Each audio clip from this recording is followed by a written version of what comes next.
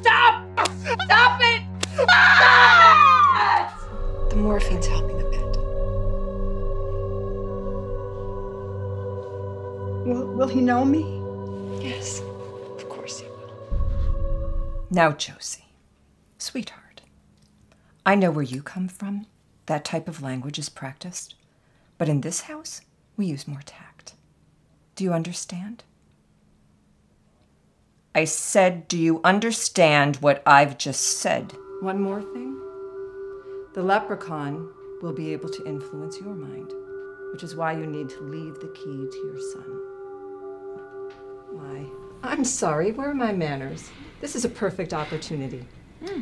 As you all know, I have decided to accept the position over at corporate headquarters. Mm-hmm. So, ladies, this is Quenisha Knowles. She's going to be my replacement.